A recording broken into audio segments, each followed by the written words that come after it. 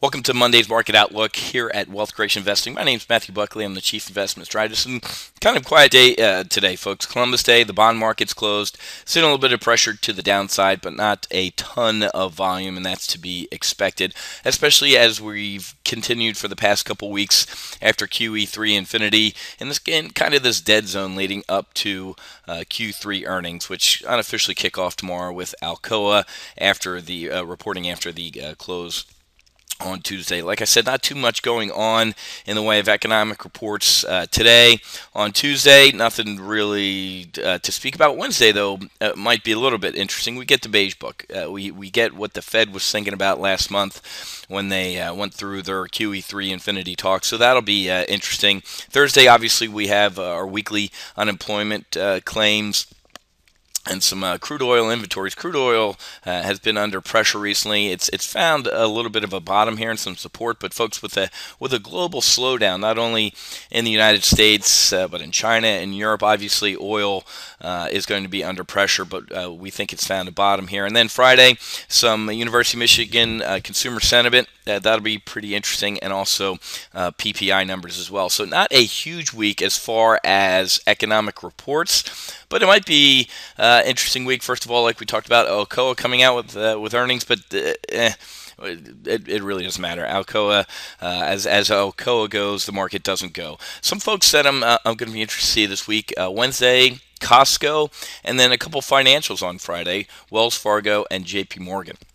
So Costco, good barometer of the economy, and uh, for folks who trade live with me, uh, they know I use a Costco barometer. Back uh, in you know 2008 to 2007, uh, as people were you know loading 62-inch screen TVs into uh, cars uh, that were priced less than that TV, I, I knew there was a bubble coming. So I like using the Costco indicator of what's going on in the economy. you know, are, are, people going in there for chips and salsa and leaving paying 600 bucks, or are they back to just getting the chips and salsa and the uh, you know dollar twenty five or dollar seventy five hot dog, uh, whatever it is there in the um, in the lobby. So. Like I said, not too much going on in the market. We're waiting for earnings. Earnings are probably going to be very, very poor.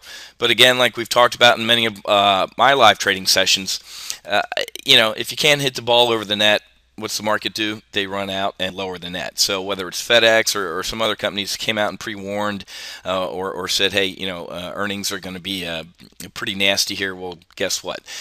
Now we have to uh, take a look at a market that uh, is bad, bad, or is bad, really not uh, bad.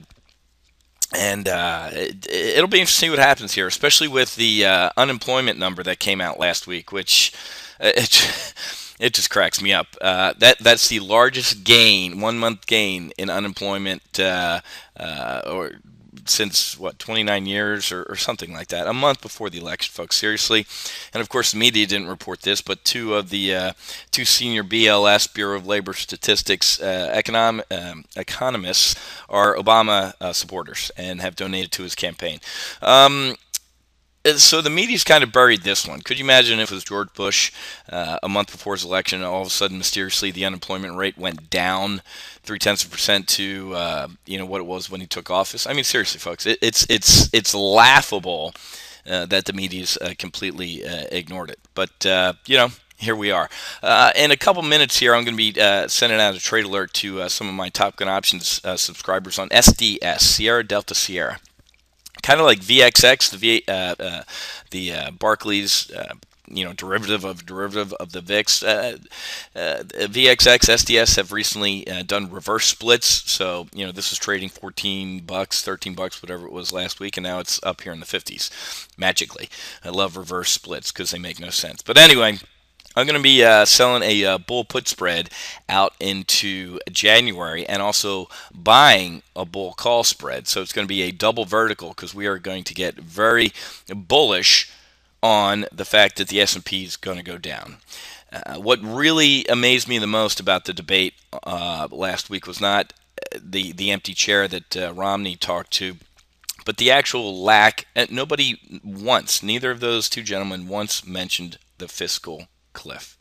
They danced around closing loopholes. Maybe it, it, it, was high on platitudes, folks, but we are facing the fiscal cliff of financial Armageddon on January 1st, and neither of those two gentlemen mentioned it.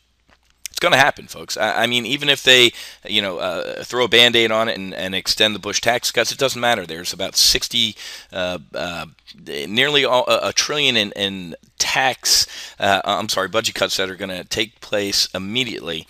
Uh, def- the majority of them being defense cuts, obviously, and we're going to have nothing uh, to do about that. So I want to give you a heads up that later in the week we're actually going to be uh, conducting. I'm going to be doing a, a, a live trading webinar. Uh, you, you, can just go to wealthcreationinvesting.com/wci dash presents dash TGO, and I'm going to do a uh, and just sign up for. Um, it's going to be uh, this week on Friday. I'm going to do uh, two of them, uh, 9 a.m which is going to be obviously before the open, and then at uh, noon as well. I'm going to throw out a, a, couple potential actionable trades I'm going to add to our primary model portfolio, which is up nearly 200% year to date. So uh, uh, come join us. Take some time to uh, take a look at what my strategic view is of the market and where we're going uh, from China to Europe to a potential war between Syria and Turkey.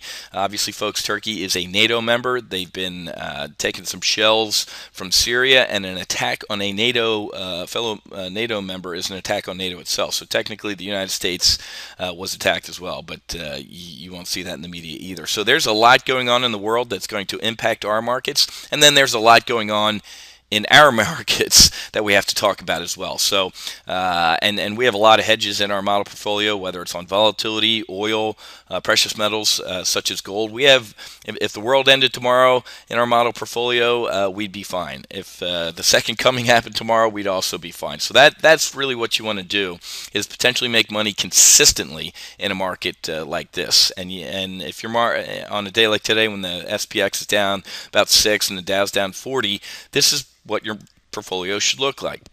You should have some greens, some reds, some light greens, uh, and some pinks. And if you're all red today or all green, you're doing something wrong. So make sure you stop by uh, and register for that event. Join me uh, on Friday, and we're going to do some live trading. And you're going to take a look at uh, you know two potential actionable trades you could add to your paper trading account. And you can open a free paper trading uh, account in order to prepare for our event at TradeMonster.com/tgo because I'm going to use a lot of the uh, the tools on the TradeMonster platform in our live trading session. Okay, got to get out of Trade Alert to my uh, Top Gun Options subscribers on SDS. Like I said, it's going to be a, uh, a bullish double vertical on the S&P going down, right?